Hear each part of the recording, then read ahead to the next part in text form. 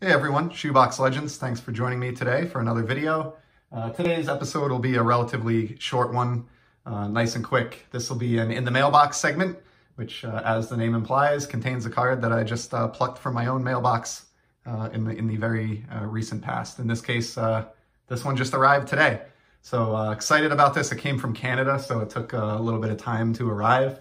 but it is not a hockey card, which you might have guessed uh, after you, you heard me say that. This is a baseball card. And essentially, the, the quick backstory here is that I sold a soccer card recently uh, that was part of a, a, lot that I bought and had pretty good luck with. Um, so I, I, got a decent uh, return for this card.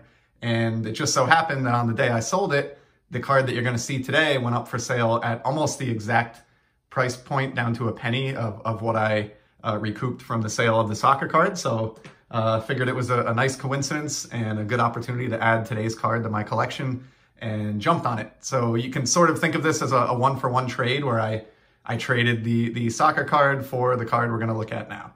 So here it is uh, from the 2019 Topps Chrome set. This is the green wave refractor of Fernando Tatis Jr. Uh, obviously, I think anybody watching this video, unless you've been living in a cave for the last couple of years, you, you obviously know who this guy is uh, one of the biggest names in the game, just signed a huge, uh, extremely long contract to remain with San Diego. And I think uh, there are a, a, ton of collectors out there, myself included, who are very, very uh, interested and intrigued to see how uh, Tatis pans out this coming year and, and, what kind of a season he turns in. So uh, this is a second year card. Obviously, this is not a rookie card. His rookie cards were in the 2019 releases. But nonetheless, I, I think he's one of those players with, you know, enough credibility and, and name recognition and star power that, you know, even his second and third year cards are are cool to pick up. Um, aside from that, you know, I'm, I'm really a collector first and foremost more than an investor. And I just really love the look of wave refractors. Uh, I have ever since I first encountered them years back. And uh, in this case, this, this green wave refractor is uh, serial numbered. Um, so these are out of 99 uh, copies, which you can see there in the upper right. Um, and yeah, I mean, that's, it's really all I have to say about this. I, I don't really need to summarize, I think, st uh, Tatis's statistics or why he's seen as an exciting player here.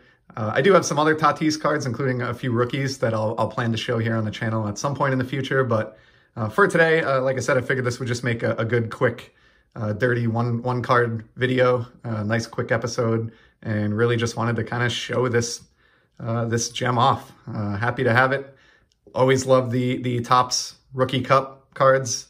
Uh, they're just they're they're great, and to me, they they carry a little bit of an extra appeal, and they make us a, a second year card like this one uh, even a little bit more attractive than it would be otherwise. So uh, yeah, that's that's really all for today. I hope you enjoyed uh, this pickup. Like I said, I'll, I'll share some more of my my small Tatis collection in the future, but I uh, hope you enjoyed it. And if you have any comments, as always, you know, feel free to, to drop one below, hit the like button, subscribe, or, or reach out. Um, looking to uh, interact with more co collectors and grow my network. So uh, look forward to hearing from you.